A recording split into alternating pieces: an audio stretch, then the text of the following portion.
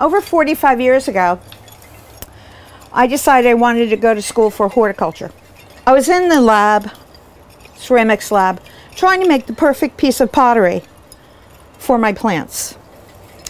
And at that point, I realized that the only direction I could ever go in would be clay. Because once you've touched it, you can't walk away from it. I'm a teaching artist uh, for the school systems. I'm the distributor for the Laguna Clay Company for the state of Florida. And I've been a, a represented artist for over 15 years. Clay is exciting. And to be able to take a thought that's in your mind and turn it into a beautiful piece of artwork or something that you can use in your kitchen, something that's a mug or a gift to be able to give away to someone is absolutely the most thrilling thing in the world.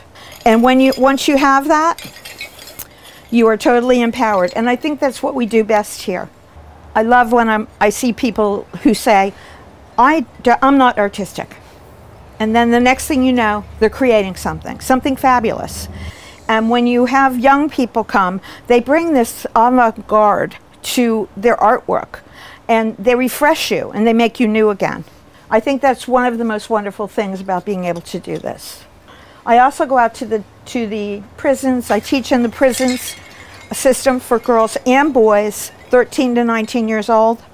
And if you want to see young people that expand themselves, try an afternoon of doing that. Now I'm a welding, jewelry making, potter, who's right here in downtown Jensen Beach, available to everyone. And that's the whole story. That's the whole enchilada, as they say. I am Mia Lindberg, Clay Habit Studio, Jensen Beach, Florida.